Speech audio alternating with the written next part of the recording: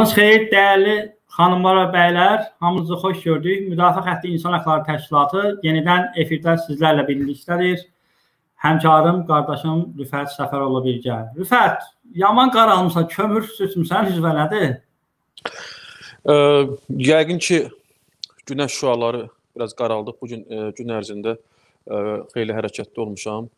Ə, həm təşkilatın, həm də ki, ə, şəxsi işlərlə bağlı olaraq hərəkətli olmuşam. Bu üzdən də sən mənə sarkazmla yanaşırsansa, mən sənə haqq vermirəm.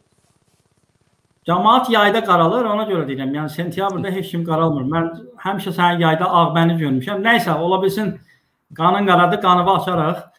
Dəyərli izləyicilər, təbii ki, biz zarafatla ə, bir motivasiya eləmək istəyirik öz-özümüzü. Bu bizim veriliş olduğu üçün moderatorlar hər zaman bir-birinə atmacalarla, lətifələrlə çalışırıq ki, verilişə ahəng qaçaq. Bu gün 21 sentyabr 2021-ci il tarixində ölkə gündəminin xronikasını sizlərlə birgə müzakirə edəcəyik. Təbii ki, e, qonaqsızıq bu dəfə, çünki Müdafiə Xətti İnsan Hüquqları Təşkilatı olaraq sizə ünvanlanacaq bir neçə mesajlarımız var, yaxşı mənada. İnsan Hüquqları Təşkilatı olaraq bizim qəbul etdiyimiz e, bir sıra e, fəaliyyət formaları var ki, onları nəzərinizə çatdıracağıq. Əvvəlcə sözü verirəm Rüfətə ona söz verməzdən əvvəl hər birinizdən xahiş edirəm ki, dönə-dönə xahiş edirik ki, verilişimizi like edəsiniz və paylaşmağı unutmayasınız. Dəyərli şəhərlərinizdə əsirgəməyin öz növbənizdə. Buyur Rüfət. Təşəkkür edirəm Zaur, səni və Kanal 13 izləyicilərini salamlayıram. Müdafiə Xətti İnsan Hüquqları Təşkilatı olaraq növbəti dəfə canlı yayımda olmaqdan məmnunam. Amma təəssüf ki, e, xoş olmayan xəbərlərdən həm özümüz, həm də bizi izləyən tamaşaçılar məmnun olmayacaq. Belə ki, Azərbaycanda insan hüquq və azadlıqlarının ə, e, tapdanılması, pozulması artıq sistematik xarakter daşıyır. Demək, Əlizamin Salayev Azərbaycan Xalq Cəbhəsi Partiyasının e, Səlyan rayon şöbəsinin e, fəallarındandır. Hazırda ə, siyasi yüklü ə, cinayət təqibinə məruz qalıb və cəzaçəkmə müəssisəsindədir. Ötən il rayon polis şöbəsinin bir təhqiqatçısı tərəfindən şərlənibdir. Onun xüsusi ittihamı ə, e, əsasında Əzamin bəy azadlıqdan məhrum edilib. Zaur, hələ neçə illər bundan öncə dövlət başçısı İlham Əliyevin müvafiq fərmanı ilə adiyyəti qurumlara, xüsusilə də prezident administrasiyasına tapşırıq verilibdi ki, cinayət məcəlləsində böhtan və təhqirə görə dekriminallaşma getsin. Yəni bu həm də bilirsən də Avropa Şurasının informasiya haqqında, bəli. Bəli, bəli, tələblərindən biridir. Sözə görə, fikrə görə, rəyə görə hansı dövrdə yaşayırıq ki, adamlar cinayət təqibinə məruz qalsın? Çox təəssüf ki, Azərbaycan hökuməti rəqiblərinə qarşı, onun siyasəti ilə barışmayan vətəndaşlara qarşı bax bu normalardan sui istifadə edir ki, Ərzamin bəy də bu gün bəli, sözə görə, fikrə görə güya böhtan və təhqir e, e, söyləməsinə görə xüsusi ittiham əsasında həbsdədir. Xatırlayırsan Əlzamin bəy təhqiqatçı ilə hansı ə, deməli şəraitdə, hansı mühitdə ə, mübahisə etmişdilər. Əlzamin bəyin iddiasına görə təhqiqatçı Səlyan rayonunda gənc bir qıza xoşa gəlməz ə, münasibət sərgiləyib, əxlaqsız ə, tərzi ilə fərqləndirib. Polisin adı Həmzə idi deyəsən, Həmzə, Həmzə. O, O xatırlayırsansa Əlzamin bəyin özü həbs ediləndə mən sosial şəbəkələr vasitəsilə qeyd eləmişdim ki, həmin o Həmzə mənim yaşadığım köhnə məhəllədə böyüyübdü. Tanıyıram. Allah atasına qəni-qəni rəhmət eləsin. Səfalı, yaxşı kişi idi. Bilmirəm bu sonradan nəyin qarşılığında, hansı şəraitin, hansı mühitin, hansı imkanların və yaxud da ki belə deyək də vəziyyətlərin, postların qarşılığında özünü belə xoşa gəlməz, bütün cəmiyyət tərəfindən ikrah və nifrətlə qarşılanan bir e, situasiya saldı. E, hər halda sözümün ə, məhvəri bundan ibarətdir ki, baxmayaraq Əlzamin Salayev qanunsuz ə, qondarma, əsassız ittihamlar əsasında bu gün həbsdədir. Həbsdə belə təqiblər dayanmır pis rəftar, işgəncə, qeyri-insani davranış sərgilənir Əlzamin bəyə. Ötən dəfələrdə biz Əlzamin bəyin sağlıq durumu ilə bağlı olaraq Ədliyyə Nazirliyinə, Penitensiar xidmətin rəhbərliyinə, Ombudsman Səbinə xanım Əliyevaya müdafiə xətti olaraq narazılığımızı çatdırmışıq və ə, əslində bizdə inan var idi ki, bundan sonra hansısa bir nəticələr olar. Amma bu gün əziz tamaşaçılar nə məlum olur? Məlum olur ki, Əlzamin Salayev təxminən 10 gün bundan əvvəl cərimə təcridxanasına, yəni karserə salınır onun dostları, partiyadaşları, hüquq müdafiəçiləri, bizlər müdafiə xətti olaraq hər vəslə çalışsaq da ki, onun qarşısa salınmasının səbəblərini, motivlərini öyrənək, amma bu baş tutmur. Xatırlayırsanızsa, e, Pentisar xidmətdən də bizə ə, e, məlumatlar verilmişdi ki, bəs Əlzamin Salayev apellyasiya instansiya məhkəməsində iştirak eləmək üçün vermiş olduğu şikayətə uyğun olaraq ə, e, etap olunacaq bir saylı Bakı İstintaq Təcridxanasına. Bu üzdən də adam ə, cəza çəkmə müəssisəsinin yaşayış sahəsindən cərimə təcridxanasına karsera salınıb. Mən anlaya bilmirəm. Özüm də təcrübəli bir dustağam. Dəfələrlə bizlər ə, ali məhkəmədə, apellyasiya məhkəməsində iştirak etmək üçün etap olunduğumuz zaman zonun yaşayış sahəsindən kənara çəkilməmişik və yaxud etap olunmamışıq Karsa və s.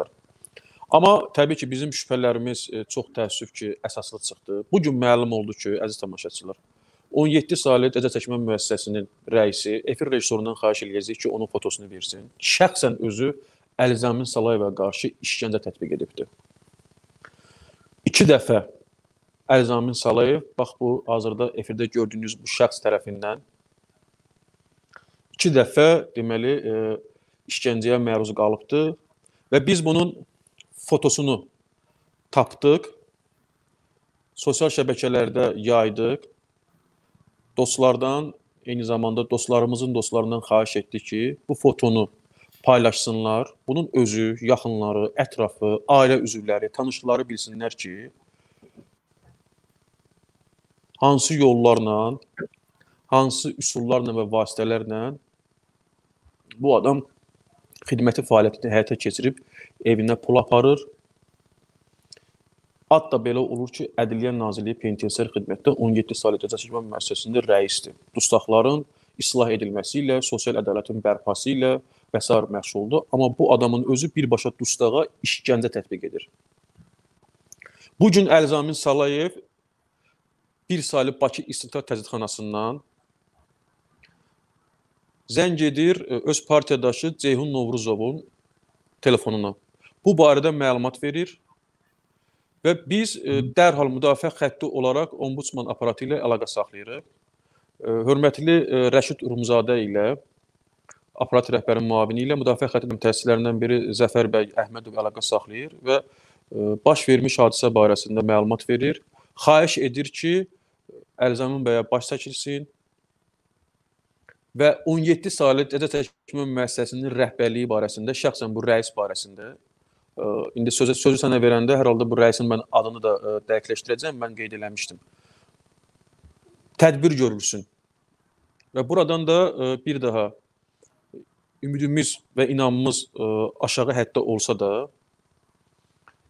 Pentisar xidmətinin rəhbərliyinə Ceyhun Həsənova, Fikrət Məmmədova müraciət edirik ilk növbədə xahiş, daha sonra isə tələb edirik ki, nə ixtiyar var ki, bu 17 saylı cəza çəkmə müəssisəsinin rəisi efirdə gördüyünüz bu sima, bu şəxs. Rüfət onun adını deyənlər, izləyicilər yazırlar bu o, Elzamin bəyə işgəncə verən adamın adını. Mən bu dəqiqə, bu dəqiqə mən bu dəqiqə dəqiqləşdirim. İzləyicilər soruşurlar bunun adı nədir? Ona görə.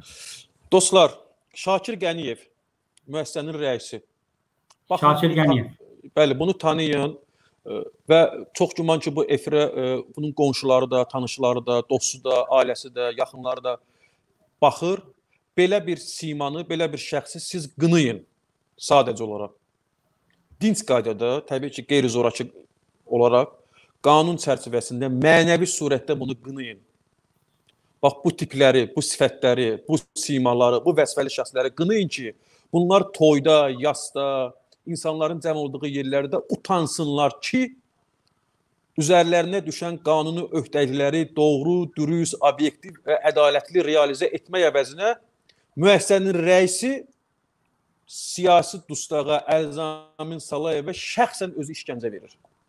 İndi şübhəsiz ki, Zaur, mən sənə sözü e, verəcəyəm və bu əsnada, bu əsnada e, başqa bu kimi rəislərin və rəis müavinlərinin e, hansı ki, onlar da işgəncələri ilə, pis rəftarları ilə fərqlənibdir. Mən öz təcrübəmdən söyləyəcəm ki, hansı aqibətləri yaşayırlar. Və bir anons verim ki, sadəcə olaraq belələri və belələrinin tayları bilsin ki, ancaq və ancaq bu statusda, bu funksiyada, bu vəzifədə, bu kimi e, insanlıqla, hüquqla, əxlaqla bir araya sığmayan vasitələrdə istifadə olunurlar. Mənim bir zamanlar e, dustaq olduğum Dəcə Təkmə müəssisəsində 9 saylı müəssisədə, misal üçün Azər Vahabzadə, e, daha doğrusu Bağırzadə kimi, Azər Bağırzadə kimi günün birində tull e, tullayırlar bir küncə. İndi sən fikirlərini ifadə elə, mən onun da aqibətini və bənzər aqibətləri xatırladacağam ki, cəmiyyətimiz hali olsun. Çox böyük çətinliklə biz bunu tapdıq. Biz yox, daha doğrusu keçmiş siyasi məhbus, e, Qarabağ qazisi, onun özü də dəfələrlə işgəncələrə məruz qalmış. Deməli Babək bəy Həsənov dəfələrlə bizim burada qonağımız olubdu.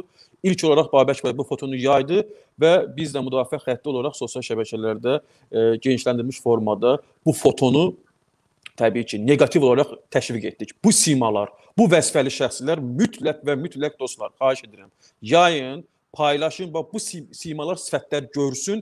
Təkcə özləri deyir, ətrafları da utansın ki, dustağa qarşı necə münasibət göstərir. Buyur Zaur. Rüfət, açığı biz verilişlərimizin bir neçəsində ə, Pensiya xidmətə və Ədliyyə naziri Fikrət Məmmədova bir neçə müraciət etmişik ki, bu kimi hallar dayandırılsın, son verilsin. Yəni məhbuslara, xüsusilə də siyasi məhbuslara qarşı vandal davranışlara. İndi sən bax bu cəza çəkmə müəssisəsində olan bu işgəncə ə, kralları kimi tanınan insanlar nə idi bunun adı? Şakir Qəniyev. Şakir Qəniyev, hə, Şakir Qəniyev kimi adamlar ə, sanki sən insanlara, tutaqlara işgəncə vermədən yaşayamırlar. Bunlar orqazm olurlar onlar. Bir də mazoxistlər bu insanlar. Hı. Bu insanlar özlərinin ailədən necə aparırlar? Mənə biraz təəccüblüdür. Həqiqətən bir e, gizli bir nəsə görünməz qüvvə olsaydı bunların ailədəki davranışları ilə, məsələn, cəza çəkmə müəssisəsinin davranışlarını bir müqayisə eləyərdik. Görə həqiqətən bunlar evdə də öz e, yaxınlarına, əzizlərinə, həyat yoldaşına, nə bilim, digər yaxın evladlarına qarşı belə vandalcasına davranır. Yoxsa onlar yalnız dustaqları həşərat gözü ilə görərək, yəni onları belə deyim, e, lazımsız bir e, məxluq kimi yanaşaraq. Mən inandırıram ki, sən ikinci variant, dediyim variant daha doğrudur. Yəni, bu qeyri-insani münasibət bunların bu mən düşünürəm ki, bu uşaqlıqda o qədər travmalıqlar ki, bunlar. Bax o həmin o travmaların nəticəsi onlar bu uşaqlara qarşı, xüsusilə siyasi məhbuslara qarşı, yəni şərlənərək həbs olunan məhbuslara qarşı bu cür vandalcasına davranırlar. İndi mən sənə sual verirəm. Sən təsəvvür elə Elzami Salayev deyil, siyasi məhbus deyil. Onun yerində Ədliyyə naziri Fikrət Məmmədovun oğludur və yaxud da olub da xidmətin rəisinin oğlu Ceyhun Həsənovdur. Olub da, yəni, xəbərin yoxdur. Ola bilərmi belə bir şey? Eşitməmisən sən bu məsələni? Bir neçə Aha. bundan qabaq olubdu və onun nəticəsini ə, e, mən Rüfət olaraq sənə izah eləyim. Təbii ki, bizi izləyən dostlar da bundan məlumatlıdır, amma amma xahiş edirəm dostlar. Yenicə başlamışıq. Bizə təxminən 300-ə yaxın adam baxır. Bəyənən insanlar isə çox azdır. Lütfən, heç olmasa balansı qoruyaq ki, daha geniş auditoriyaya çatsın. Burada səsləndirilən fikirlər xüsusilə də cəmiyyətin o segment e, e, həssas segmentinə aiddir. Bu dustaq dustaq ailələrinə aiddir. Onsuz da onlar belə deyək də çox ağır bir şəraitdə Azərbaycan cəza çəkmə müəssisələrində istintaq tədqiqatlarında hansı vəziyyətdir, bunu mən şəxsən həyatımla, azadlığımla, canımla, dərimlə, qanımla görmüşəm, hiss eləmişəm. Ona görə belə əminliklə deyirəm. Xahiş edirəm yayın bunu bəyənin. Demək, e, deyirsən belə efir rejissoru həm o Fikrət Məmmədovun, eyni zamanda Ceyhun Həsənovun fotosunu qoy versin və düşünməsin ki, bizim cəmiyyət 17 saylı cəza çəkmə müəssisəsinin rəisi, bundan qabaq ki biz e, efirə verdiyimiz belə vəzifəli şəxs bütün bunları öz başına edir. Öz fəaliyyətdir. Xeyr. Baxın, həmin o 17 saylı cəza çəkmə müəssisəsinin və bütövlükdə penitensiar xidmətinin rəisi Ceyhun Həsənov efirdədir. Bu şəxs, əziz dostlar, uzun illər polis orqanlarında, daxili işlər orqanlarında fəaliyyət göstəribdi. E, hansı fəaliyyət göstəribdi? Hər halda ə, e, daxili işlər orqanlarında ə, uğuru ilə deyim ki, seçilən bir ə, xidməti ilə fərqlənməyibdi. Daha çox ə, yarınmaq, ə, qanun və hüququn yanından keçərək öz patronajlarının ona himayədarlıq edənlərin qarşısında reverans edərək, bəli, özü də baxacaq yəqin ki, bu verilişə, gözünün içinə baxıram, birbaşa deyirəm. E, deməli, sahiblərinin, rəhbərlərinin və onun e, patronajlı, onun himayədarı olan şəxslərin qarşısında reverans edərək bu gün gəlib əyləşibdir Ədliyyə Nazirinin e, müavinin e, vəzifəsində, penitensiar xidmətin rəisi vəzifəsində. General leytenantdır.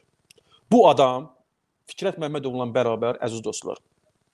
Azərbaycanda qapalı bazarlar elan edib və idarə edirlər. Mən qapalı bazar anlayışını dırnaqarası verirəm burada. Cəza çəkmə müəssisələri.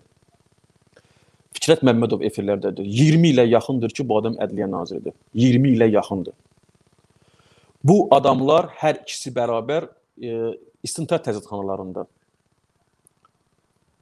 cəza çəkmə müəssisələrində, müalicə müəssisəsində sözün birbaşa mənasında məhdud məsuliyyətli cəmiyyət yaradıblar. Elə yeri gəlmişkən dostlar, hökumət rəhbərliyi, elə dövlət başçısı İlham Əliyev ötənlərdə Cəllabad, bir də İmişli rayon icra hakimiyyətinin başçısını təyin edərkən çox sərt və mən deyim ki, əslində düzgün bir çıxış elədi. O mənada ki, bildirdi ki, kimsə təmiz işləmirsə, hansısa məmur təyinatına uyğun, funksional mahiyyətinə uyğun, qanuni öhdəliklərini düzgün icra etmirsə, kristal işləmirsə, onu mən bədbəxt edəcəm. Bu bədbəxtçilik də nə ilə şərtlənərmiş? Yəqin ki, ən yaxşı halda işdən azad olunma, ən pis halda isə həbs. Baxın, həm Ceyhun Həsənov, həm də Fikrət Məmmədov. Bunlar hər ikisi cənab prezident uzun illərdir ki, qapalı bazarlara rəhbərlik edirlər. Əgər misal üçün sizdə belə bir istək varsa ki, tutalım penitensiar xidmətdə, Ədliyyə Nazirliyində, cəzaların cəza çəkmə müəssisələrində, istintaq tədqiqatxanalarında aç qapalı bazarın olması ilə bağlı sübutlar, əsaslar tam əlimi qoyuram vicdanımın üzərinə səmimiyyətimlə, bax mən Rüfət Səfərov olaraq ciddiyyətimlə, lakin məsuliyyətimlə ifadə edirəm ki, rəsmi dövlət orqanları, adiyyəti strukturları təbii ki, bu işdə maraqlı olan şəxsləri qoşsun mənim yanıma. Bu müəssisələrdə hansı bazarın, hansı alverin, dustaqın pulu ilə, qan pulu ilə nələrin törədildiyinə dair mən özüm şəxsən sübut edim. Keçək bərabər müəssisələrə. Telefondan tutmuş, əziz dostlar, telefondan tutmuş. Ta ki geyimə qədər, görüş yerinə qədər və s. bütün addımların pul olması barəsində mən sübut eləyim ki, bəli, bu Ceyhun Həsənovla, bu Fikrət Məmmədov bütün məsuliyyətimlə deyirəm. Azərbaycanda qapalı bazarın birbaşa rəhbərləri və himayədarlarıdır. Və təbii ki, indi mən o xüsusiyyətə gəlirəm. 17 saylı cəza çəkmə müəssisəsinin rəisi özü necə aparmalıdır ki? Necə aparmalıdır ki? Mən indi ad çəkmirəm. Təbii ki, dünyasını dəyişmiş e, insanlar barəsində burada konkret soyad və ad çəkib e, hər halda dərinlik etmək istəmirəm. Həm Ceyhun Həsənova, həm də Fikrət Məmmədova buradan mən elan edirəm ki, bu dustaqlara qarşı, günahsız məhkumlara qarşı, xüsusilə də heç bir təqsiri olmayan siyasi məhbuslara qarşı bunca amansız, şiddətli münasibət göstərirsiniz. Allahdan qorxmursunuz. Qanun qalsın bir tərəfdə. Amma inanın ki, gəlib bir gün özünüz də olmasa yaxın ətrafınızdan çox pis bir bədəl götürür. Əvəz götürür. Nə demək istədiyimi yaxşı xatırlayırsınız. Ona görə də gec də olsa bizim bu çağırışlarımıza siz diqqət edin bizim şikayətlərimizə, müraciətlərimizə e, laqeyd yanaşmayın, məsuliyyətli yanaşın. Baxın siyasi məhbuslara qarşı cəmiyyətin, beynəlxalq təşkilatların, siyasi partiyaların, insan hüquqları üzrə təsisatların diqqətində olan siyasi məhbuslara, dustaqlara qarşı siz belə münasibət göstərirsinizsə, adi dustaqlara isə sizin münasibətiniz aydındır. Tam belə deyək də, hansı səviyyədə, hansı fəna durumda, hansı tərzdə e, belə deyək də, e, münasibət sərgilirsiniz bu aydındır. Bütün bunları mən nəyə görə dostlar, mən əminliklə söyləyirəm, çünki 3 il ərzində Azərbaycanda mövcud olan ə, e, bu müvəqqəti saxlama yerlərinin Bir neçəsini gəzmişəm. 3 saylı Bakı İstintaq Tədqiqatxanası, yəni Şüvəlan, 1 saylı Bakı İstintaq Tədqiqatxanası, yəni, yəni Kürdəxana Tədqiqatxanasında olmuşam. Ə, demək 9 saylı cəza çəkmə müəssisəsində etaplar zamanı dustaqlarla ünsiyyətimiz filan bu nəticəyə gəlməyə məni sövq edir ki, bəli, bir daha bunun altını qırmızı xətlə cızıram ki, ekranda gördüyünüz bu şəxslər Fikrət Məmmədov və Ceyhun Həsənov. Bunlar öz üzərinə düşən funksiyaları, öhdəlikləri, vəzifələri əsas etibarilə icra etmirlər. Və bütün bunların və bu iddialarımın əsaslı olmasına dair, əsaslı olmasına dair mənim konkret olaraq əlimdə faktlar var. Götürsünlər, yoxlasınlar təkcə telefondan cəza çəkmə müəssisələrində ay ərzində qanunsuz pul dövriyyəsi zaur nə qədərdir? Dustaq 15 dəqiqəyə görə 5 manat pul ödəyir e, deməli 1 saylı Bakı İstintaq Tədqiqatxanasında dustaq tutalım ki, ən kasıb, ən belə deyək də imkansız cəza çəkmə müəssisələrində 15 dəqiqəyə görə ə, belə deyək də ən yaxşı halda 2 manat, 3 manat pul ödəyir. Dustaqın sovqatına ötənlərdə mən qeyd eləmişdim. Dustaqın yeməyinə, dustaqın ailəsi tərəfindən gətirilən banderola bunlar burun soxurlar. Dustaqın görüşləri zamanı, Dustaqın görüşləri zamanı sən təsəvvür elə ki, Zaur, borc dəftəri gətirib onun yaxın qohumlarının gözünə soxurlar. Söhbət nədən gedir? Bilirsən də, cəza çəkmə müəssisələrində bu ə, mağazalardakı qiymətlər ceyran belindədir. Təsəvvür elə ki, 1 kilo kartof tutalım ki, 50 qəpik burada deyil. Bu zalımlar, bu qan içənlər müəssisənin daxilində kartofun qiymətini eləyəcək 2 manat. Məcburdur, məsəl üçün, ə, yoxdur, verilən dövlət tərəfindən təyin olunan da qida, ərzaq, ərzaq məhsulları insan üçün deyil də, it üçündür. Bəlkə də itin də ağzını açsan, et onu qəbul etməz. Məcburdur bu baha qiymətlərlə tutalım ki, ərzaqı, ərzaq məhsullarını minimumda olsa alsın borca. Ayın axırında tutalım məhbusun yanına qohumu, əqrabası, tanışı gələcəksə, bütün təsəvvür edin ki, 9 saylı cəza çəkmə müəssisəsində ayrıca bir ştat ayrılmışdı ki, yalnız və yalnız qonaq gələn e, insanları belə deyək, dustaqların yanına gələn tanışlarını qarşılasın və borc dəftərini qoysun qarşısına. İndi mən desəm ki, bunlar dustağın qampuru ilə ailə saxlayırlar. Sən deyəcəksən ki, Rüfət səhvsən yoxsa düzsən? Yox, mən desəm ki, bunlar mən üzr istəyirəm, yekun olaraq mən desəm ki, bunlar dustağı karsa salırlar. Dustağın başına olmazın oyunlar gətirirlər, döyürlər, söyürlər, təhqir eləyirlər və sonra onun karsdan çıxarılması üçün yaxınlarından rüşvət istəyirlər. Sən deyirsən ki, rüşvət, yəni bu həddə. And içirəm vicdanıma, Allahıma. Təsəvvür eləsən. Bax bunların mahiyyəti budur. Və cənab prezident də hər dəfə çıxışlarında qeyd eləyir, əşi hansısa ə, e, rayon icra hakimiyyətinin başçısını, nazirliyin hansısa şöbə müdirini, idarə rəisini həbs eləmək və s. rahatdır. Belələri ilə məşğul olmaq lazımdır. 20 ildə oturubdu, az qala mənlə sən yaşadıq. Fikrət Məmmədov 20 ildir. Bütün ədliyyə sistemi, hakim korpusu, nə bilim, ə, e, notariat, cəza çəkmə müəssisələri və s. və laxır. Oğlu da indi gətirirəm sən indi ora gətirirəm. Sən deyirsən ki, belələrini görəsən övladları. Bir hardasa ə, e, 10 il bundan qabaq bunun oğlunu deməli ə, e, Əli Həsənovun qızının həyat yoldaşı Səttar Mehbaliyev, bunu deyəsən efirlərdə bir dəfə söhbət eləmişik. Səttar Mehbaliyevin oğlu Əli Həsənovun da belə deyək də kürəkəni İsfəndiyar Mehbaliyev. Təsəvvür edək elə ki, yanacaq doldurma məntəqəsində bu Fikrət Məmmədovun oğlu ilə aralarında baş verən mübahisə zəminində əlbəyaxa olublar. Təbii ki, İsfəndiyar Mehbaliyev bu Fikrət Məmmədovun oğlunu çox pis formada əzişdiribdi, xəsarət yetiribdi, dəyənəklə özdə, dəyənəklə. Təsəvvürlə dəyənəklə. Həmin dövrdə İsfəndiyar e, deməli Mehbaliyev prokurorluq orqanlarında fəaliyyət göstərirdi.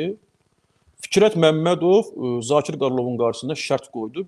Bir gün içərisində o İsfəndiyar Mehbaliyevi oğlunu əzişdirdiyinə görə, döydüyünə görə prokurorluq orqanlarından xaric elətdirdi. O başqa söz ki, bir qədər sonra qaynatası Əli Həsənov e, Ramiz Mehdi ilə bərabər demək ə, Ramil Üslovun qarşısında ə, xahişdə bulundular və tezliklə təsəvvür elə qəsdən sağlamlığa xəsarət yetirən, xuliqanlıq edən, prokurorluq orqanlarından bundan dolayı xaric edilən bir şəxsi Azərbaycanda digər hüquq mühafizə orqanı, yəni Daxili İşlər Nazirliyi işə götürdü.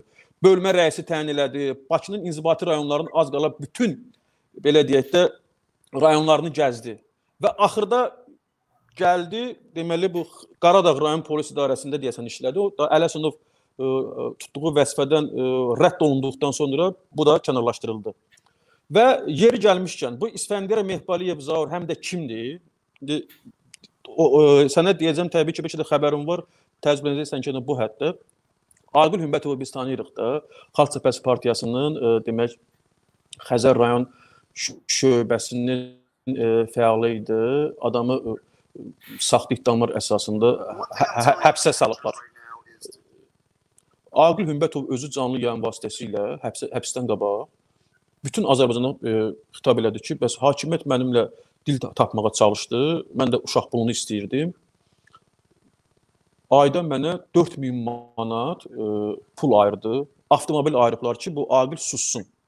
Xatırlayırsan da ötən il onu e, ruhi əsəb dispanserinə, yəni elində desə dəlixanaya salmışdılar çıxışlarına görə. Doğru sözü ifadə eləyir. Necə ki o Sovetlər İttifaqı dövründə e, dissidentləri, ə, həqiqəti söyləyənləri dəli elan eləyib ruhi əsəb dispanserlərinə salmadılar. İndi də Azərbaycanda belə. Adam durub canlı yayın vasitəsilə hökuməti, onun rəhbərliyini tənqid edirdi. Adamı salmışdılar ə, ruhi əsəb dispanserinə, dəlixanaya. Bir müddətdən sonra da onu kim oradan azad elədi? Ə, hakim vicdanına qulaq asdı e, hüquqi düşüncəsi həqiqətən də normal oldu. Onun barəsində e, Zaur təsəvvür elə ki, e, uzatma qərarı vermədi. Müstəqil bir qərar verdi. Məhz bu addıma görə e, qısa zamanda onu e, hakimlikdən azad etdilər ki, verilmiş göstərişi nəyə görə e, sən icra etmirsən. Mən hesab edirdim ki, o Samir müəllimi həbs edəcəklər, amma canını yaxşı qurtardı. Bu gün vəkillər kollegiyasında fəaliyyət göstərir. Məxləs sözümün canı nədən ibarətdir? həmin bu Səttar Mehbaliyev, yəni Fikrət Məmmədovun bir zamanlar oğlunu döyüb, əzişdirən, prokurorluq orqanlarından qovulan, ə, deməli, ə, sonradan uzun illər polisdə fəaliyyət göstərən, bir neçə rayonun polis rəisi olan, polkovnik rütbəsinə qədər qalxan bir şəxs bu dəfə hakimiyyətin təmsilçisi kimi Aqilin qarşısına çıxır, elçilik eləyir. Ayda 4000 manat Aqilə pul verilmiş. Təsəvvür elə. Yəni bunu mən demirəm, Aqilin özü söylüyor. İndi az təminatlı ailənin bir başçısı idi dostlar. E, yəni Aqil e, zibil daşımaqla ailəsini saxlayırdı. E, sadəcə olaraq öz çapında, öz qabiliyyətində təbii ki, biz tərəfdən qəbul olunmaz, bəzən təhqiramiz üslubda adam e, fikirlərini ifadə edirdi, özünü cəmiyyətə belə deyək də təqdim edirdi. Amma sadəcə yenə güya qonşunun qızına sataşıbdı və onun ailə üzvləri Aqilə hücum eləyibdi, xəsarət və s. Hə, bu gün Aqil artıq həbsdədir. O Aqil ki, Kanal 13 e, deməli üzərindən ötən çıxışlarda biz bildirdik. O Aqil ki, saxlandığı zaman dostlar əməliyyat korpusu tərəfindən çox ağır formada işgəncəyə məruz qoyulubdu. Eyni zamanda e, bildiriblər ki, əgər tələb olunan ifadə və izahata sən imza atmazsan, lüt soyundurub səni zorlayacaq. Müdafiə Xətti İnsan Hüquqları Təşkilatı olaraq biz bunu ictimailəşdirdik. Ombudsman Səbinə Əliyevanın diqqətinə çatdırdıq. Müdafiəçi Neymət Əliyev vasitəsilə bu barədə dostlar bizə Aqil xəbər göndərdi ki, mənim qarşıma ifadəni qoydular ki, əgər sən bunu imzalamasan səni lüt soyundurub zorlayacaq. İnanıram bunlara. Çünki bu hazırki hökumətin, hazırki hakimiyyətin, onun əməliyyat axtarış, istintaq, təhqiqat orqanlarının hansı mahiyyət daşıyıcısı olduğunu inanıram. Tərtər hadisələrini xatırladaq, Gəncə işini xatırladaq, Tovuz işini xatırladaq. Sanki, sanki bu belə deyək də qəddarlar bu insanlıqdan, əxlaqdan, mənəviyyatdan uzaq düşənlər təkcə hüquqi deyil, eyni zamanda mənəvi nihilizm içərisində bataqlıqda çabalayanlar zorlamanı, təcavüzü Cinayət Məcəlləsinə bir cəza növü kimi salıblar sanki.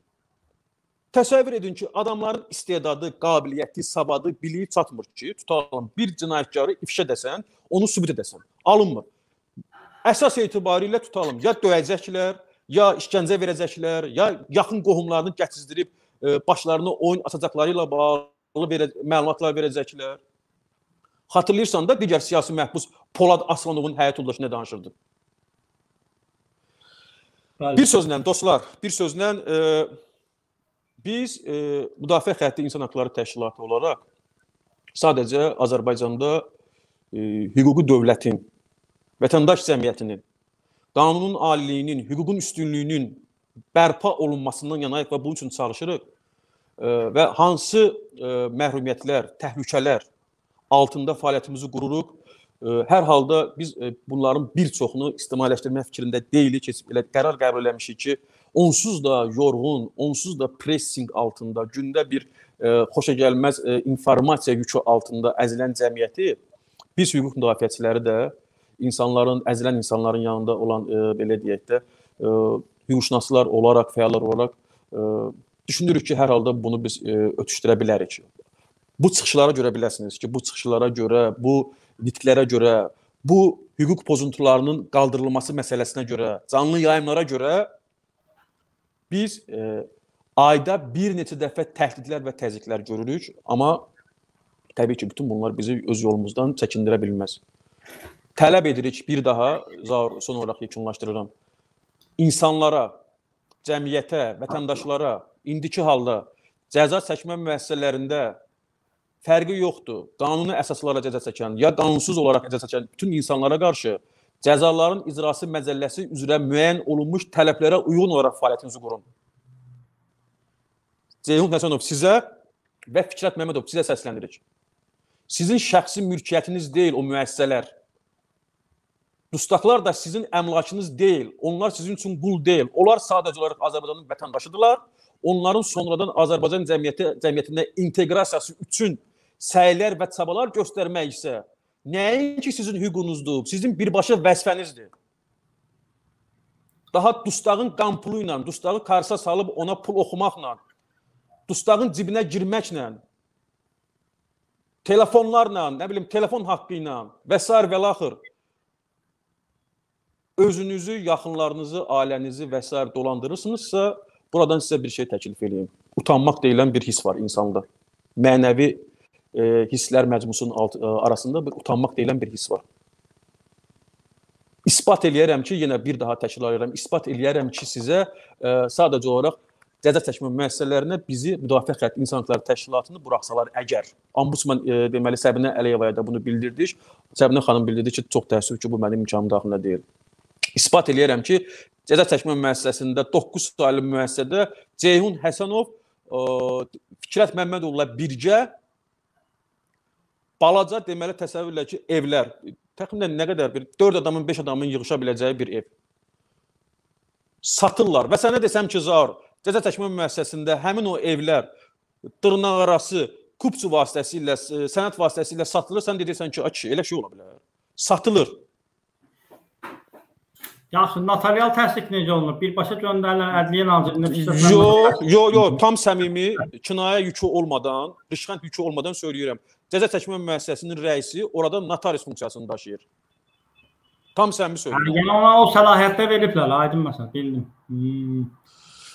Rüfət, sən bir su iş e, boğazlı yaşda, mən də e, Müdafiə Xətti İnsan Hüquqları Təşkilatının yeni fəaliyyət formaları haqqında izləyicilərimizə məlumat vermək istəyirəm. Dəyərli izləyicilər, e, Müdafiə Xətti İnsan Hüquqları Təşkilatı yarandığı gündən bu günə qədər e, məhdud resurslar çərçivəsində maksimum işlər görməyə çalışır və biz e, bu sentyabr ayından başlayaraq Müdafiə Xətti İnsan Hüquqları Təşkilatının fəaliyyət dairəsini genişləndirmək üçün bir sıra tədbirlər planı hazırlamışıq.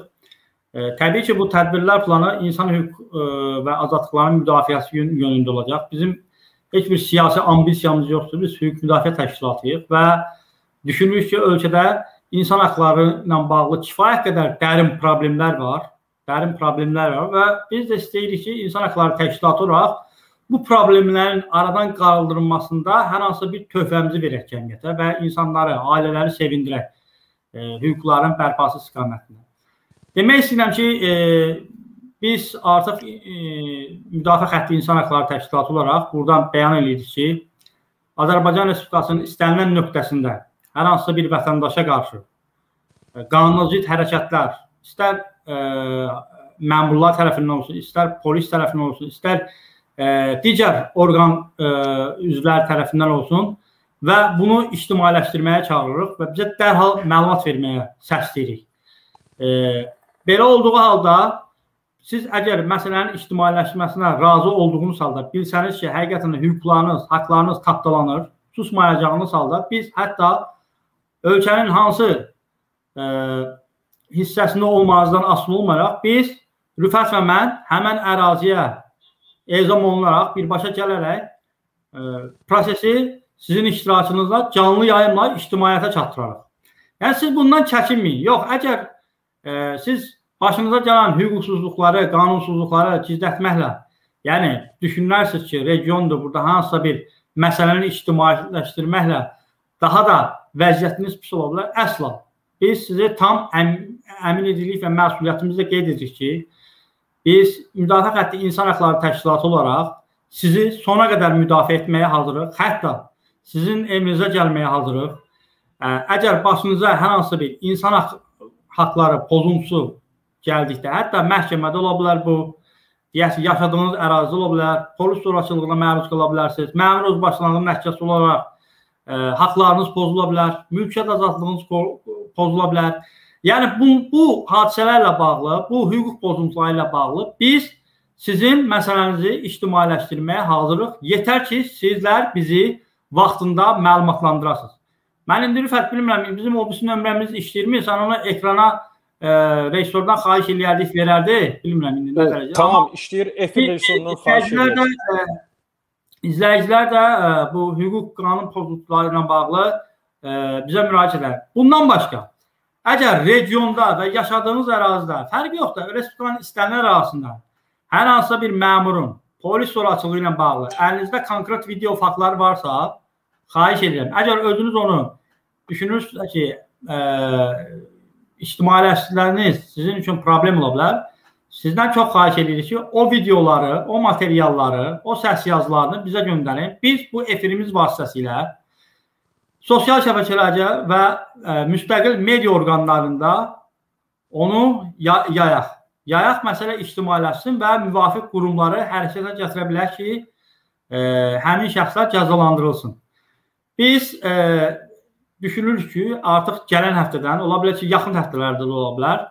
Həftədə bizim 2 verilişimiz var, ancaq biz düşünürük ki, 3-cü verilişlərə bu sırf sizlər üçün olacaq. Yəni canlı yayımlara qoşulmanız üçün münbit bir şərait olacaqdır. Çıxıb harda ə, problem yaşamanızı, necə ə, hüquqsuzluqla, qanunsuzluqla üzləşdiyinizi bizim canlı efirimizdən özünüz öz dilinizlə, özünüz iştirakı ilə birbaşa olaraq bunu ictimailəşdirəsiniz.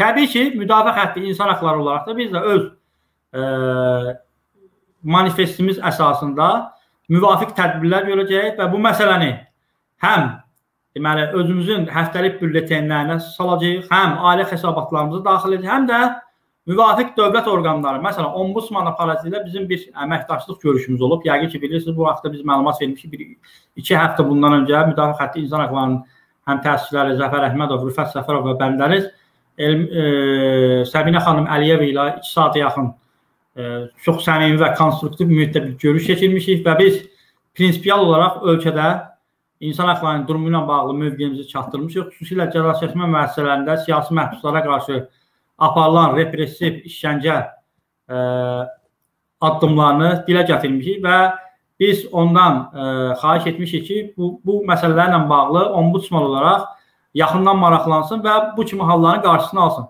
Və təkcə ombudsman yox, digər e, dövlət qurumları ilə hansı ki bizlə e, elə deyək, görüşməkdə maraqlı olaraq, xüsusilə insan hüquqlarının vəziyyətinin durumunun yaxınlaşdırılması ilə bağlı durğunluğun aradan qalması olarsa biz böyük məmnuniyyətlə sizin bu faktlarınızda müvafiq qurumlara çatdıracağıq. Və təbii ki, çat çatdırmaq yox, həm də prosesi təqib edəcəyik ki, e, vətəndaşın haqları, hüquqları e, bərpa. Bu fəqrənin deyəcəyim bu qədər. Mən hesab edirəm Təşəkkür edirəm. Önəmli məlumatlarımızı çatdırdım və həqiqətən də bu bizim ə, əsas ə, fəaliyyət formalar formaları formasıdır. Bizim işimiz təkcə hər həftə 2 dəfə efirə çıxıb veriliş aparmaq deyil. Təbii ki, bu verilişin ə, e, tutumu demək ki, əhatə dairəsi daha geniş. Çünki bu efir vasitəsilə Kanal 13-ün də rəhbərliyinə təşəkkür edirik ki, Müdafiə Xətti İnsan Hüquqları Təşkilatına bu şəraiti yaradır. Biz daha çox geniş auditoriya, kütləyə çıxış əldə edirik. Amma mən sizə deyim ki, biz ə, e, bu verilişləri aparmaqla yanaşı biz istəyirik ki, həm də praktik olaraq sizlərlə görüşək. Hər hansı bir qanun pozuntusu varsa, yenə deyirəm, hüquq pozuntusu, insan hüquqları pozuntusu varsa və yaxud da işgəncə vaxtı varsa, xahiş edirik, hətta özünüz ictimailəşdirə bilməsəniz belə onları bax ə, ekranda rejissorumuzun qoyduğu telefon nömrəsindən ə, WhatsApp WhatsApp-na göndərin. Bizi ə, agah edin ki, biz də məsələni anında ictimailəşdirək ki, ə, lazımı ə, belə deyək, ə, tədbirlər alınsın. Zavur, demək burada şərh bölməsinə biz diqqət yetirək. Təbii ki, ə, dostlarımızın ə, fikirlərini ə, diqqətə alaq. Mais Qurbanov qeyd edir ki, bir icra hakimiyyəti bu gün qaziyə iş üçün get-gələ salırsa, sonra onu fırladıb dediyi sözü tutmursa, nə deyək? Bu torpaq üçün canını, qanını verənlər dəyər ə, verənlərə dəyər vermir icra hakimiyyəti. Mais bəylə razılaşmamaq olmur. Hər gün platformaları, ayrı-ayrı sosial şəbəkələri Qarabağ qazilərinin, şəhid ailələrinin ə, hayqırtıları, narazılıqları məşğul edir və məsələ bundan ibarətdir ki, yalnız bundan sonra adiyyəti dövlət strukturları, icra hakimiyyəti orqanları hərəkətə keçirlər. Ay qardaşlar, ay bacılar, olmaz ki, məhz bu sosial şəbəkələri, platformaları, sarsıdıcı nitqləri, çağırışları, belə deyək də, qan ağlamaqları bu cəmiyyət görməmiş, bilməmiş, duymamış sizlər hərəkətə keçəsiniz. Axı bu sizin vəzifənizdir. Mütləq vətəndaş öz haqqı və hüququ üçün mütləq çarpışmalıdır, mütləq mübarizə aparmalıdır. Axı sizin vəzifənizdir ki, vətəndaşın müavinətini, vətəndaşın pensiyasını, vətəndaşın reabilitasiyasını və s. təmin edəsiniz axı. Bu sizin vəzifənizdir. Bu mənada mən Mayus bəyə təbii ki, mən e, haqq verirəm. Fəxrəddin Feyrizov qeyd edir ki, rejim cinayətkar məmurların yuvasıdır. Xalq e, birlik olub rejimi istefaya göndərməlidir. Əli Rəhimov, ə, e, Rüfət bəy hər vaxtınız xeyir olsun. Verilişə baxmağa dəyər. Təşəkkür edirik. Ə, e, minnətdarıq.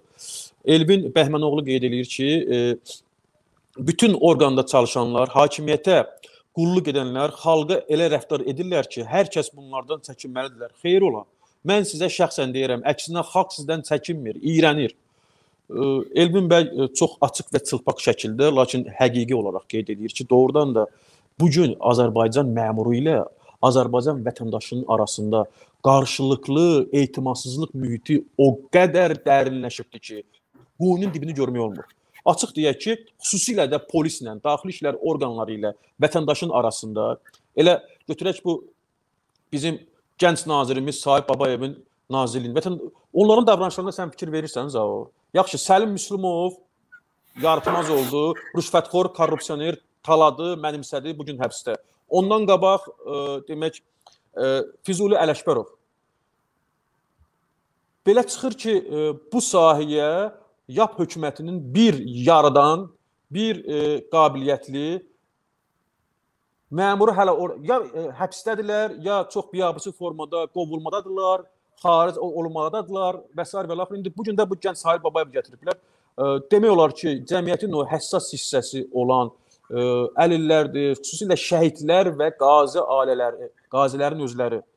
Hər gün bu adamlar protest edirlər, etirazlar edirlər. Bundan başqa Rüfət, sözümü Meşəbalı ilə kəsirəm, həmişəki kimi. Hələ bu bir dəfəlik pandemiya dövründə müavinətin ödənilməsi ilə bağlı 190 manatla bağlı. Nə hoqqalardan çıxdılar, həyasızcasına. Bəli.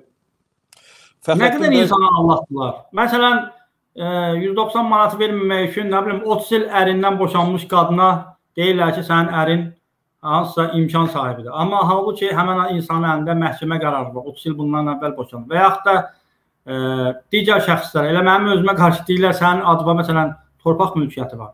Çox həyasızcasına yalan deyir. Bunlar at kimi adamın üzünə deyirlər. Ürfət təsəvvür etsən bu nə deməkdir? Bu yalan danışmırlar. E, bu adamlar adamın üzünə at kimi dururlar. Məsələn, bayaq deyirsən ki, bir utanan yer olsun. Bunlarda utanmaq hissi yoxdur, ciddi deyirəm. Yəni e, bunlarda Tanrı tərəfindən verilən bir utanmaq hissi olub. Bunlar onu e, öz özlüyündə məhv eləyiblər. Bunlarda utanmaq hissi yoxdur. Bunlar bir e, müstəsna həyasız bir tayfadır. Ciddi şəkildə deyirəm onu tam səmimiyyətimlə. Bu insanlara bax qazilərə qazilərlə bağlıyıq. Rüfət inanırsan bu qazilərə qarşı bu Sosial Müdafiə Nazirliyinin bu çox əclaf deyim, mən də xalq dilində deyirəm, çünki artıq e, digər diplomatik sözlər bunlara çarə eləmir. Bu da çarə eləmir, amma çox əclaf qərarlar çıxarırlar, addımlar atırlar. Yəni bunlar doğrudan bunlar bunların ataları, anaları, qohumları Azərbaycanlı deyilmi? Görəsən bunların qohumlarında, nəslində bir e, əskər yoxdurmu? Qarabağ qazisi yoxdurmu? Şəhid yoxdurmu? Bunlar özləri ilə hesab edirlər. Bunlar insanlarla niyə belə ə, e, belə əclaf kimi davranırlar? Və buna cavab verir. Kabinetlərində telefonlarını verirlər, maşınları gözləyir, çıxıb gedirlər, cəhənnəm olurlar harasa. Amma insanların milyonlarını yeyirlər. Və əsaslandırmalar bu ki, yalandırma, yalan Sosial Müdafiə Nazirliyinin adından gedir ha o məktubun hamısı. Deyir məsələn sənin torpaq sahən var, nə bilim sənəd düşmür. Qaziyə vermir əlilliyi ilə bağlı. Adam gedib qıçını itirir. Buna birinci qrupa əlil vermir. Deyir sənin fiziki məhdudiyyətin yoxdur. Sənin işləmə qabiliyyətin var. Sən bunlara nə deyəsən? Əclaf deməzsən Rüfət. Mən əclaf deyirəm şəxsən. Ondan artığı da ə, e, layiqdir onlara, amma mən davam edim lütfən. Ə, e, sonra bizə ə, e, izləyənlər təbii ki, haqlı olaraq inciyə bilər. Fəxrəddin Feyruzovun diqqətinə çatdırırıq ki, Fəxrəddin bəy, efir rejissoru bizim ə, nömrəmizi yerləşdirdi. Sabah ərzində mütləq ə, əlaqə saxlayın. Şəxsən özüm telefona cavab verəcəm.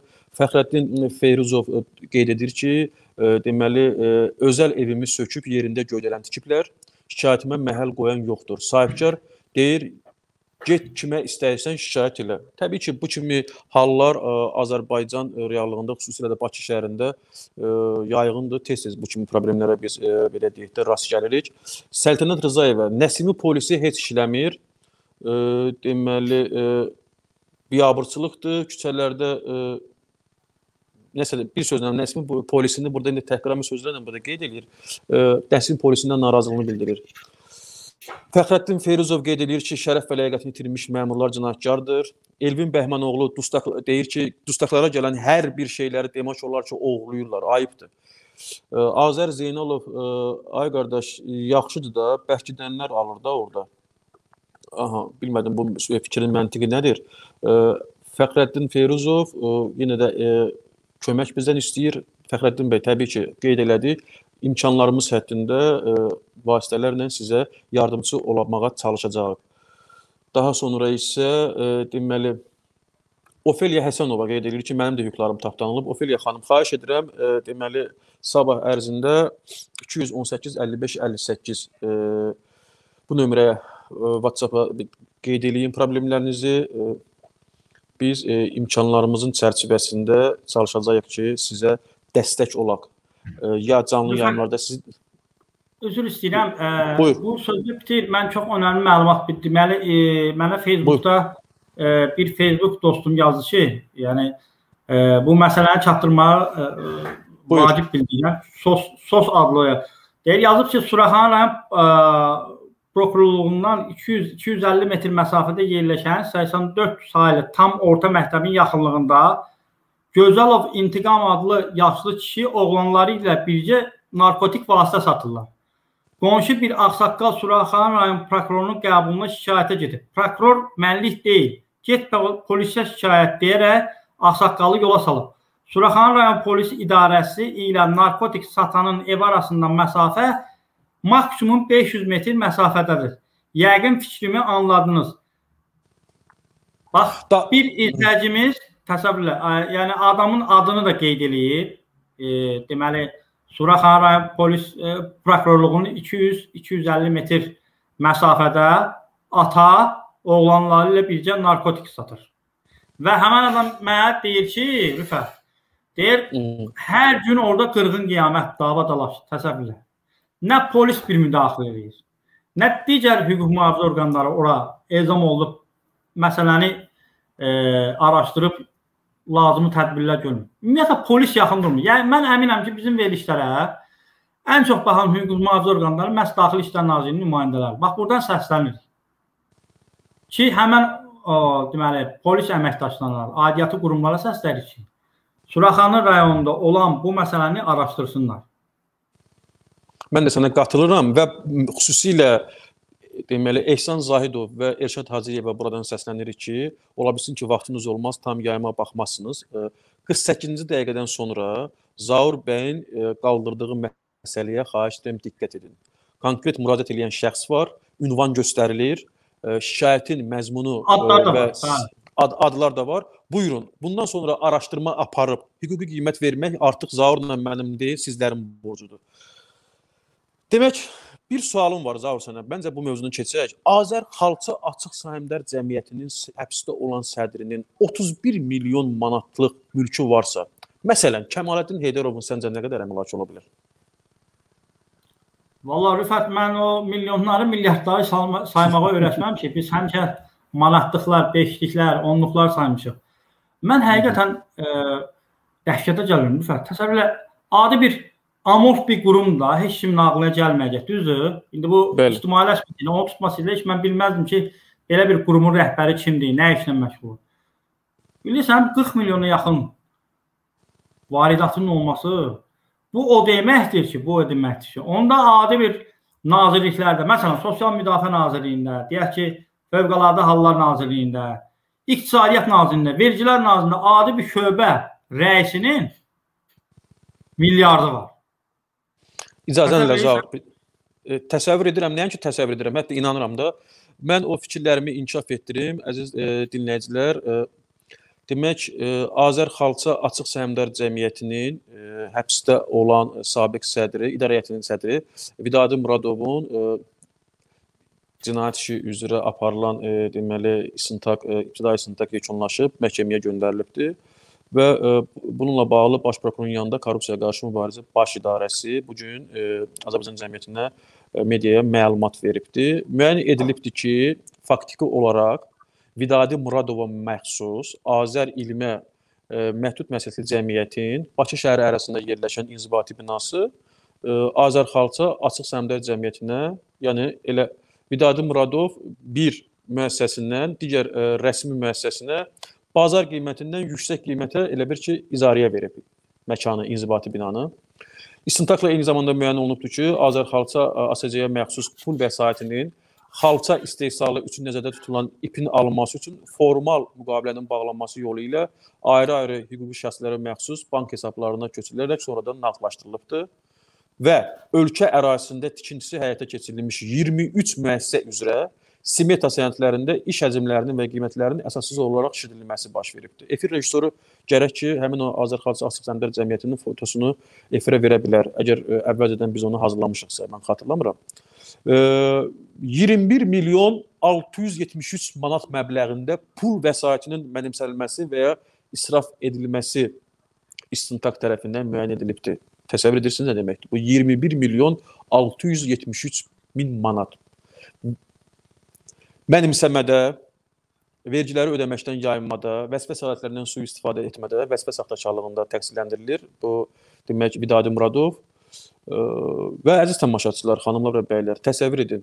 Bir Açıq Səhmdar Cəmiyyətinin Azərxalça Açıq Səhmdar Cəmiyyətinin sədri, yox, efir rejissoru səhv verir. Bu Vidadi müəllimdir, lütfən. Təsəvvür edin ki, dəyəri 30 milyon 587 min manat təşkil edən yaşayış və qeyri-yaşayış sahələri üzərində həbs qoyulubdur. Mən ona görə sənə kinayə ilə sual verdim ki, bu ə, hissəyə keçid almazdan öncə bir Azər Xalça Açıq Səhmdar Cəmiyyətinin 30 milyon 587 min manat təşkil edən bir əmlakı varsa, məsələn, Mikayıl Cabbarovun, Kəmaləddin Heydərovun, Elman Rüstəmovun və yaxud digər məmurların bunların əcəba nə qədər milyardları, vəsaitləri var. Belə başa düşürəm ki, həqiqətən də ə, bu məmurları, bu vəzifəli şəxsləri qanunun qarşısında bərabər surətdə məsuliyyətə cəlb edib, zar səsə xahiş edirəm diqqət edin, məsuliyyətə cəlb edib onların dövlətdən, xalqdan oğurladığı malları, pulları, maddi nemətləri bir yerə toplasan, inan mənə ki, Azərbaycanın bir neçə illik dövlət büdcəsi olar. Haram xoşları olsun, burunlarından gəlsin, irin-irin. Başqa mənim arzum yoxdur. Aslında, aslında mən sənə bir şey deyim, Arifət. Yəni bütün avtoritar rejimlərdə o məmurlar, yəni e, dövləti idarə edən şəxslər e, onların milyard yığdığı nə qədər milyard yığırlarsa, onların hamısı elə bilsin özünə qalır. Onların sonunda başına bir qapaz vururlar. Bir neçə faizi qalır. Düzdür, o da olan nəticə e, nəsillərinə, nə bilim, gələcək nəsillərinə, öz nəsillərinə, evlad uşaqlarına e, qalır. Amma təpəsindən şillə vurub alırlar onların əksəriyyətini. Yəni dünyanın da yiyələri var. Bilirsən, bunlar ə, e, düşünürlər ki, o milyardları qəbrə gedəndə aparacaqlar. Apara bilməyəcəklər. Zor, Yox, əgər düşünürlər ki, onları evladlarına da rəsmiləşdirib özləri gedəndən sonra rahat yaşayacaqlar. Heç övladları da onu saxlaya bilməyəcək. İnandırıram sənə. Tam səmimiyyətimlə deyirəm, əminliyimlə deyirəm sənə. Mümkün deyil. Mümkün deyil. Və Çünki insanların e... insanların sən bayaq dedin, qan pulu ilə, göz yaşları üzərində, alın tər üzərində oğulların o milyonlar, milyardlar heç vaxt onlara halallıq gətirə bilməz.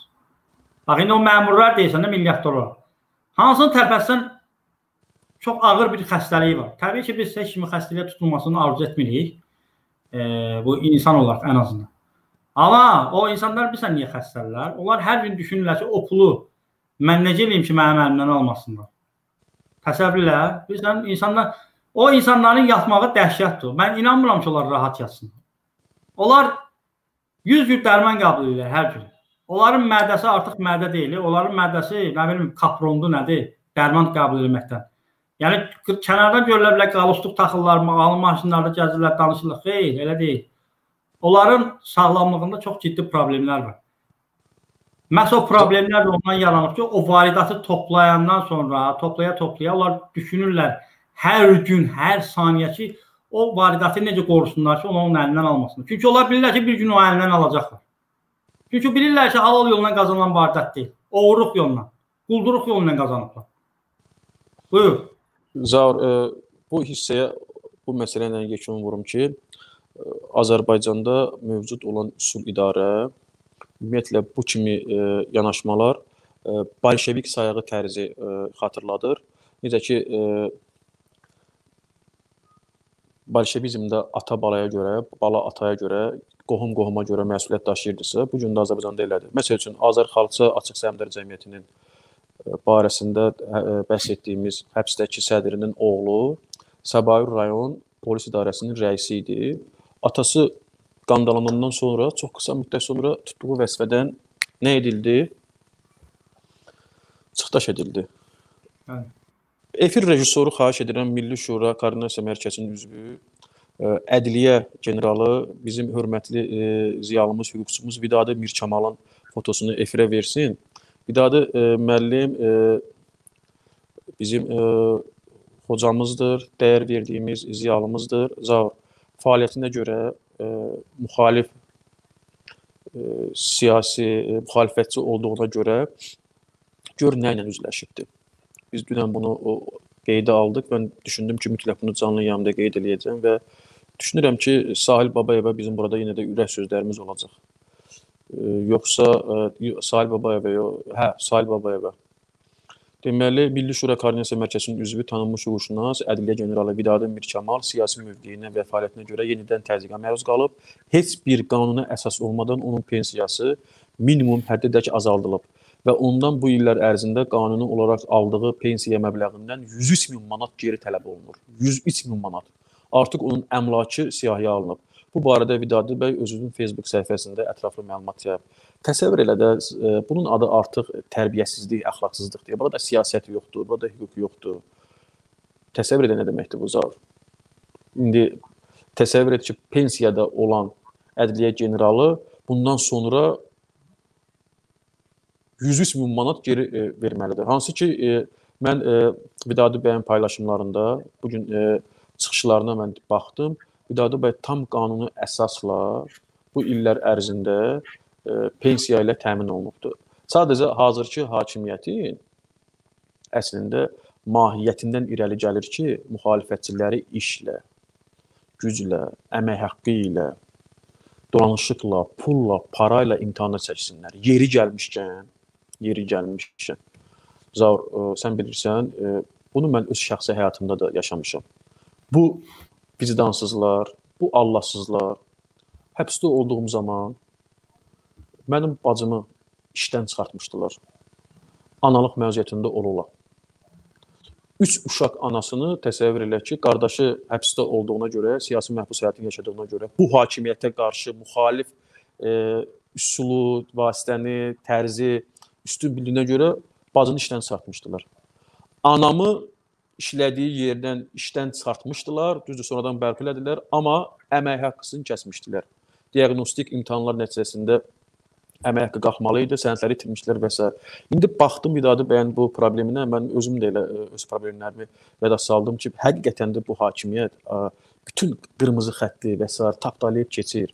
Əşi yaxşı mübarizə aparırıq bizim yaxın qohumların, ətrafın, ailə üzvlərinin, onların əmək haqqısının və s. nə günahı var burada. Bir şey biz anlamalıyıq, dərk eləməliyik, dərindən biz düşünməliyik ki, axı həyat bu günlə yekunlaşmır. Həyat təkcə bu gün deyil. Sabah da var, filan da var. Bu qədər ə, ziddiyyətli münasibətlər sistemi, bu qədər özünüzə qarşı nifrət niyə görə siz aşılayırsınız? Niyə? Niyə? Mən dəqiq bilirəm ki, məsəl üçün Vidadi bəyin ə, müxalifətçi olmasından dolayı yaxınları, ailə üzvləri də bu gün ə, çox yəqin ki, işsizlikdən əziyyət çəkir. Ən azı rəsmi dövlət strukturlarında tutalım ki, müxalifətdə olan ədliyyə generalının yaxın qohumları işləyə bilməz. General olaraq bu gün təqaüddən bəhrələnir və təkcə özünü deyil, ailə üzvlərini də bu gün həmin o təqaüd hesabına təmin eləyir. E, sizdə bir vicdan, Allah, qanuni hüquq qoyuran bir tərəfə qorxusu varmı? Cəmaatı çörəklə, pulla, parayla imtahana çəkirsiniz. Mənim başqa deyəcəyim yoxdur zəv. Razıyam səninlə Rüfət dediklərindən. Məncə 1 saat 2 dəqiqə də artıq edir ki, izləyicilər də görəcək. Yekunlaşdıraq. Məncə maraqlı veriliş oldu və düşünürəm ki, biz ə, önəmli mesajlarımızı tam aydın formada çatdıra bildik dəyərli xanımlara və bəylərə.